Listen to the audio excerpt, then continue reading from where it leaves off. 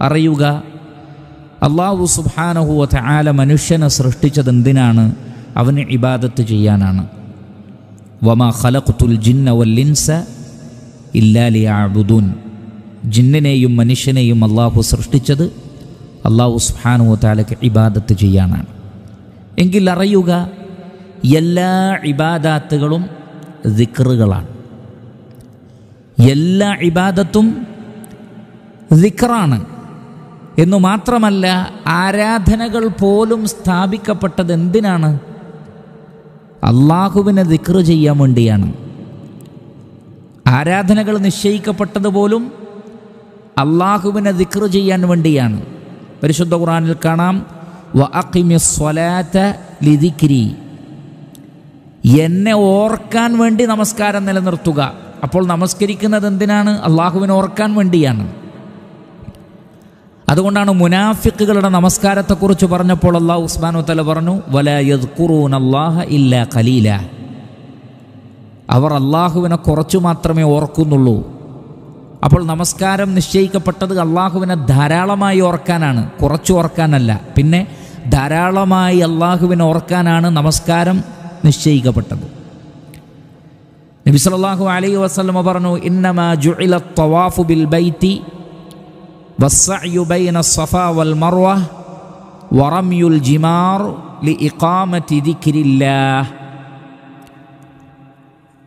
കാബക്ക് ചുറ്റും തൊവാഫ് നിശ്ചയിക്കപ്പെട്ടത് സഫാ മറവ കുന്നുകൾക്കിടയിലൂടെയുള്ള സഅയ് നിശ്ചയിക്കപ്പെട്ടത് ജംറകളിലെ കല്ലേറ് നിശ്ചയിക്കപ്പെട്ടത് എന്തിനാണ്? ലി ഇക്കാമത്ത് ദിക്കിരില്ല അള്ളാഹുവിനെ ഓർക്കാൻ വേണ്ടിയാണ്.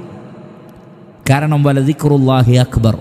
അള്ളാഹുവിനെ ഓർക്കുക എന്നതാണ് വലിയ കാര്യം ഏറ്റവും വലിയ കാര്യം. അതുകൊണ്ട് ആരാധനകളെല്ലാം നിശ്ചയിക്കപ്പെട്ടത് പോലും അള്ളാഹു സുബാനഹുവ താലയെ ഓർക്കാൻ വേണ്ടിയാണ്. അതുകൊണ്ട് തന്നെ അള്ളാഹു മനുഷ്യരെയും ജിന്നുകളെയും സൃഷ്ടിച്ചത് അവന് മാത്രം ഇബാദത്ത് ചെയ്യാനാണ് എന്ന് പറഞ്ഞാൽ അവനെ മാത്രം ഓർക്കുവാൻ വേണ്ടിയാണ് എന്നുകൂടി മനസ്സിലാക്കുന്നതിൽ വിരോധമില്ല. കാരണം അള്ളാഹുവിന്റെ ദിക്റില്ലാത്ത ഒരു ഇബാദത്തും ഇബാദത്തല്ല. അതേപോലെ തന്നെ ഇബാദത്തിന്റെ പര്യായ പദമായി ഉപയോഗിക്കുന്ന കാര്യമാണ് അദ്വാ പ്രാർത്ഥന. അദ്വാ ഉഹുവൽ ഇബാദ. അദ്വാ ഉഹുവൽ ഇബാദ. ദുആ അത് തന്നെയാണ് ഇബാദത്ത്. എല്ലാ ദുആയും ദിക്റാണ് എല്ലാ ദിക്റും ദുആയാണ്. ശ്രദ്ധിക്കുക. എല്ലാ പ്രാർത്ഥനകളും എന്താണ്? ദിക്റാണ്. എല്ലാ ദുവാകളും ദിക്കറാണ് എല്ലാ ദിക്കറും ദുആ ആണ്. കാരണം എല്ലാ ദിക്കറിലും ദുആ വേണം. എങ്കിലേ അത് ദിക്കറാവുകയുള്ളൂ അതുകൊണ്ട് നാം നടത്തുന്ന ആരാധനകൾ നാം നടത്തുന്ന പ്രാർത്ഥനകൾ ദുആകൾ എല്ലാം അൽഹംദുലില്ല ദിക്കറാണ് പക്ഷേ അതിൽ മാത്രം ഒതുങ്ങാൻ പാടില്ല. അതുകൊണ്ടാണ് അള്ളാഹു ഉസ്മാനോ തല പറഞ്ഞത് ദിക്ർ എന്നത് ആരാധനാ സന്ദർഭത്തിലും അതിനു പുറത്തും നിർവഹിക്കേണ്ടുന്ന ഒരു കാര്യമാണ്. അള്ളാഹു ഉസ്മാനു തല പറഞ്ഞു ഫൈദ ഖദൈതുമുസ്സലാത്ത ഫദ്കുറുല്ലാഹ ഖിയാമൻ വഖൂദൻ വഅല ജുനൂബിക്കും. നിങ്ങൾ നമസ്കാരം നിർവഹിച്ചു കഴിഞ്ഞാൽ നമസ്കരിക്കുന്ന എന്തിനാണ്? വാക്കിമി സ്വലാത്ത ലതിക്കിരി എന്നെ ഓർക്കാനാണ് നിങ്ങൾ നമസ്കരിക്കേണ്ടത്. പക്ഷേ ഫൈദ ഖദൈതുമുസ്സലാ നമസ്കാരം കഴിഞ്ഞാൽ ഫദ്കുറുല്ലാഹ് നിങ്ങൾ അള്ളാഹുവിനെ ഓർക്കണം ഖിയാമൻ വഖൂദൻ വഅല ജുനൂബിക്കും അത് നിന്നുകൊണ്ടാണെങ്കിലും പ്രശ്നമില്ല ഇരുന്നു കൊണ്ടാണെങ്കിലും പ്രശ്നമില്ല കിടന്നുകൊണ്ടാണെങ്കിലും പ്രശ്നമില്ല എന്ന് പറഞ്ഞാൽ ഇരിക്കുമ്പോഴും കിടക്കുമ്പോഴും നടക്കുമ്പോഴും നിൽക്കുമ്പോഴുമൊക്കെ അള്ളാഹുവിനെ ധാരാളമായി ഓർക്കണം فإذا قضيت الصلاة فانتشروا في الأرض وابتغوا من فضل الله واذكروا الله كثيرا لعلكم تفلحون വെള്ളിയാഴ്ച ദിവസം ജുമാ നമസ്കാരം കഴിഞ്ഞാൽ നിങ്ങൾ ഭൂമിയിൽ വ്യാപിച്ചു കൊള്ളുക പക്ഷേ വദ്കുറുല്ലാഹ കസീറ. അള്ളാഹുവിനെ ധാരാളമായി ഓർക്കണം അത് നിങ്ങൾ വിട്ടുപോകാൻ പാടില്ല. ശത്രുക്കൾ മുന്നിൽ വന്ന് യുദ്ധത്തിന് വേണ്ടി തയ്യാറായി നിൽക്കുമ്പോൾ പോലും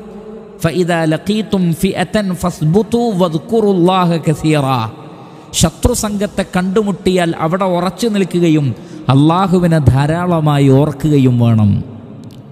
അപ്പോൾ സദാസമയവും അള്ളാഹു സുബാനഹുവ താലയെ സംബന്ധിച്ചുള്ള ആ ഒരു ദിക്ർ ഉണ്ടാകണം. അതിനാണ് അള്ളാഹുവിനെ ധാരാളമായി ഓർക്കുക എന്ന് പറയുന്നത്. അങ്ങനെ അള്ളാഹു സുബാനഹുവ താലയെ ധാരാളമായി ഓർക്കുന്നവരിൽ നാം ഉൾപ്പെടേണ്ടതുണ്ട്. വലദിക്റുല്ലാഹി അക്ബർ. അള്ളാഹുവിനെ സംബന്ധിച്ചുള്ള ഓർമ്മയാണ് ഏറ്റവും പ്രധാനം. അതോടൊപ്പം നാം മനസ്സിലാക്കുക അള്ളാഹുവിനെ സംബന്ധിച്ചുള്ള ദിക്ർ ഏറ്റവും ശക്തമായി ഉണ്ടാവേണ്ടത് ഏറ്റവും ശക്തമായി തീരേണ്ടത് ഹറാമുകൾ ചെയ്യാനുള്ള സാഹചര്യം ഒത്തുവരുമ്പോഴാണ് അതോടൊപ്പം തെറ്റുകൾ ചെയ്തു കഴിഞ്ഞാലും അള്ളാഹുവിനെ സംബന്ധിച്ചുള്ള ഓർമ്മ നമുക്ക് ഉടനെ തന്നെ ഉണ്ടാവണം. അതുകൊണ്ടാണ് പരിശുദ്ധ ഖുറാനിൽ കാണാം വല്ലദീന ഇദാ ഫഅലു ഫാഹിഷതൻ ഔ ളലമു അൻഫുസഹും ദക്കറുല്ലാഹ വല്ല നീചവൃത്തിയും ചെയ്തു പോയാൽ സ്വന്തത്തോട് തന്നെ അതിക്രമം ചെയ്താൽ വേഗം അവർ അള്ളാഹുവിനെ ഓർക്കും. അള്ളാഹുവിനെ മറക്കരുത്. കാരണം അള്ളാഹുവിനെ ഓർക്കുന്നവനെ ഇസ്തിഗഫാർ ചെയ്യാൻ തോന്നുകയുള്ളൂ. ഉടനെ തന്നെ അവരിൽ നിന്ന് വന്നുപോയ ആ പാപത്തിന്റെ പേരിൽ അവർ അള്ളാഹുവിനോട് ഇസ്തിഗഫാർ നടത്തും. വമൻ യഗ്ഫിറുദ്ദുനൂബ ഇല്ലല്ലാഹ്. പാപങ്ങൾ പൊറുക്കുന്നവൻ അള്ളാഹു അല്ലാതെ വേറെ ആരാണുള്ളത്? അപ്പോൾ തെറ്റ് ചെയ്തു കഴിഞ്ഞാൽ ഒരബദ്ധം സംഭവിച്ചു പോയാൽ അറിയാതെ അള്ളാഹുവിനെ സ്മരിക്കണം ഓർക്കണം. ഇനി തെറ്റിനുള്ള പ്രേരണ പിശാചിൽ നിന്ന് വന്നാലോ? അപ്പോഴും വേഗം അള്ളാഹുവിനെ ഓർക്കണം. ഇന്നല്ലതീനത്തക്കൗ ഇതാ മസ്സഹും തായിഫും മിന ശൈത്വാനി തദക്കറൂ. തക്വയുള്ള ആളുകൾക്ക് പിശാചിൽ നിന്ന് വല്ല ദുർബോധനവും ഉണ്ടായാൽ തതക്കറു അവർ വേഗം അള്ളാഹുവിനെ സംബന്ധിച്ച് ഓർക്കും. ഫൈദാഹും മുബ്സിറൂൻ. അവർ ഉൾക്കാഴ്ചയുള്ളവരാകും. എന്ന് പറഞ്ഞാൽ ആ ഹറാമിൽ നിന്ന് അവർ മാറി നിൽക്കും. കാരണം ഒരു തെറ്റ് ചെയ്യാൻ തുനിയുമ്പോൾ അത്തരമൊരു ചിന്ത മനസ്സിൽ വരുമ്പോഴേക്ക് അള്ളാഹുവിനെ സംബന്ധിച്ചുള്ള ഓർമ്മ വേണം. എപ്പോഴാണ് അത്തരം സന്ദർഭത്തിൽ അള്ളാഹുവിനെ കുറിച്ച് ഓർമ്മയുണ്ടാവുക? അള്ളാഹുവിനെ ധാരാളമായി ജീവിതത്തിൽ സ്മരിക്കുന്ന ആളുകൾക്കേ ഹറാമിന്റെ സന്ദർഭത്തിൽ അള്ളാഹുവിനെ ഓർക്കാൻ കഴിയുള്ളൂ. ഇല്ലെങ്കിൽ അവർക്ക് അള്ളാഹുവിനെ ഓർക്കാനുള്ള തൗഫീഖ് ഉണ്ടാവുകയില്ല. ധാരാളമായി അള്ളാഹുവിനെ ഓർക്കുന്ന ഒരു വ്യക്തിക്ക് അള്ളാഹുവിനെ ഓർക്കാൻ അള്ളാഹു ഉസ്മാനോ തല തൗഫീഖ് നൽകും. ഏതുപോലെ മഹാനായ യൂസുഫ് അലിഹി സ്വലാത്തു വസ്സലാമയെ അതിശക്തമായ പ്രലോഭനം നൽകുന്ന ഒരു തിന്മക്ക് അവിടെയുള്ള ഏറ്റവും സ്വാധീനമുള്ള ഒരു സ്ത്രീ ക്ഷണിച്ചപ്പോഴും അള്ളാഹു ഉസ്മാനോ തല തിന്മയിൽ നിന്ന് യൂസുഫ് അലൈഹി സ്വലാത്തു വസ്സലാമയെ രക്ഷപ്പെടുത്തി. അതിനുള്ള കാരണം അള്ളാഹു ഉസ്ബാനു തല പറയുന്നത് ഇന്നഹൂമിന് ഇബാദിനൽ മുഖ്ലസീൻ. ഇഖ്ലാസുള്ള അള്ളാഹുവിനെ സദാസമയവും ഓർക്കുന്ന അള്ളാഹുവിനെ ഭയപ്പെട്ട് ജീവിക്കുന്ന ആളായിരുന്നു അതുകൊണ്ടാണ്. എന്നാൽ അള്ളാഹുവിനെ ഓർക്കാത്ത അള്ളാഹുവിനെ സ്മരിക്കാത്ത ഇഖ്ലാസും തക്കുവയും കാത്തു സൂക്ഷിക്കാത്ത ആളുകൾക്ക് തെറ്റുകളുടെ സന്ദർഭത്തിൽ അതിൽ നിന്ന് മാറി നിൽക്കാനുള്ള ഒരു തൗഫീക്ക് അള്ളാഹുവിനെ ആ സന്ദർഭത്തിൽ ഓർക്കാനുള്ള ഒരു തൗഫീക്ക് ഉണ്ടാവുകയില്ല. അതുകൊണ്ട് സദാസമയവും അള്ളാഹുവിനെ ഓർക്കുന്ന ധാരാളമായി അള്ളാഹുവിനെ ഓർക്കുന്ന അള്ളാഹു എന്നെ കാണുന്നുണ്ട് എന്ന് ചിന്തിക്കുന്ന അള്ളാഹുവിനെ ഭയപ്പെടുന്ന യഥാർത്ഥ വിശ്വാസികളിൽ ഉൾപ്പെടാൻ നമ്മൾ ശ്രമിക്കേണ്ടതുണ്ട്. ഇന്ന സ്വലാത്ത തൻഹ അനിൽ ഫഹ്ഷ ഇവൽ മുൻകർ. വലദിക്കുറുല്ലാഹി അക്ബർ. തീർച്ചയായും നമസ്കാരം നീചവൃത്തികളിൽ നിന്നും വെറുക്കപ്പെട്ട കാര്യങ്ങളിൽ നിന്നും നിങ്ങളെ തടയുന്നു. കാരണം നമസ്കാരത്തിൽ നാം അള്ളാഹുവിനെ ധാരാളമായി ഓർക്കുന്നു. അതുകൊണ്ടാണ് വലദിക്കുറുല്ലാഹി അക്ബർ അള്ളാഹുവിനെ ഓർക്കലാണ് ഏറ്റവും വലിയ കാര്യം.